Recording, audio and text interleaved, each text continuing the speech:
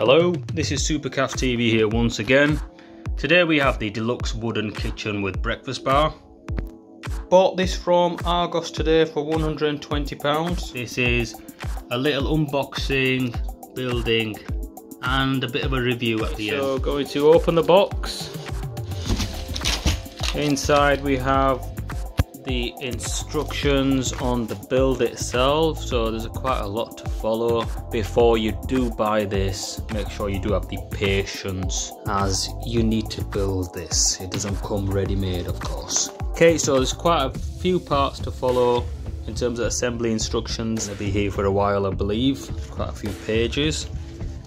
But at the end we will get there. The main part you guys want to see of course is the physical product at the end. So I'm gonna fast forward all this. Once I've built it and I'll take you through all the key features of this kitchen set. It's like we've got most of the plastic bits in here. And looks like all the wooden bits are in here that need assembling together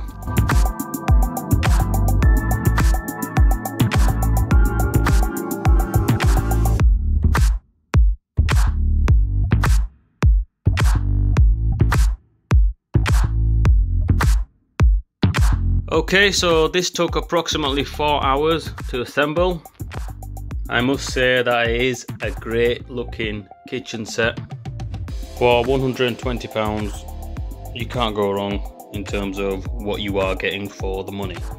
So what we'll do now is just uh, go through a little bit of the features of the product itself. First one being this tap. It's got a little bit of a water sound effect. Next one these burners I think is that one there.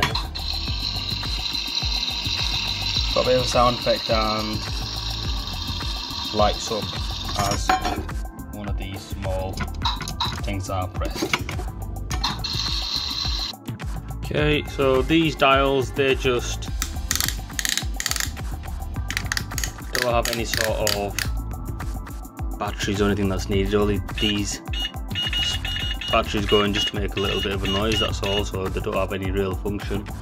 So in total you do need nine batteries altogether. So that's three in the tap the same amount in one of the hobs same again in the other hob and this little clock over here. So that's 12 altogether that you do need. I imagine they will last a long time because they don't really serve much purpose than just a little bit of sound effect these here are just little beeps. Don't imagine the batteries taking up a lot of power just to create that little function there. So the rest of the kitchen set, obviously there's little dials again, same function just like here, same sound effect, microwave there. So here we have the toaster.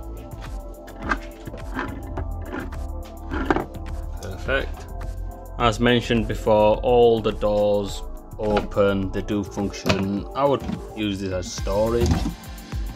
Throw all the kids toys in here. Look as you can see there's a galaxy tab a box there. Um, but this is a pretty cool function as well.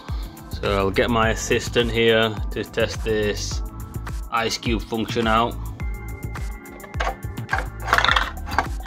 Brilliant it's great stuff so again, the fridge doors open, plenty of storage in there, some accessories that can be bought, so it looks like a fridge in there eventually.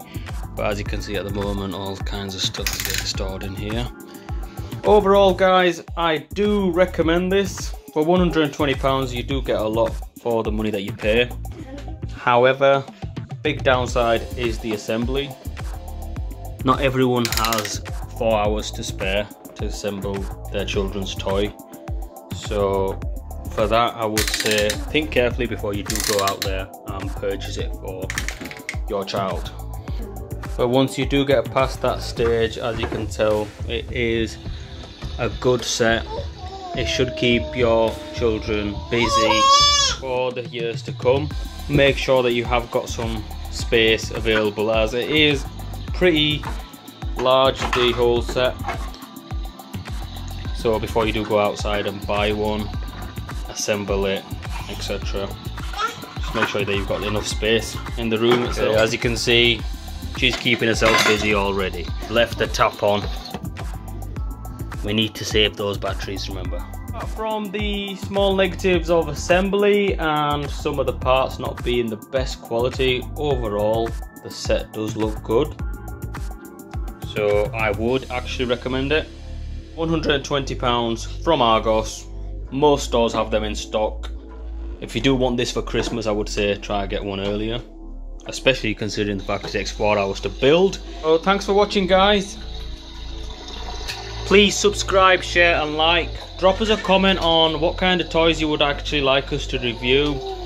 Obviously we are a growing channel. So any little support of subscribing, commenting and liking is greatly appreciated. So thanks for watching once again guys. See you again next time.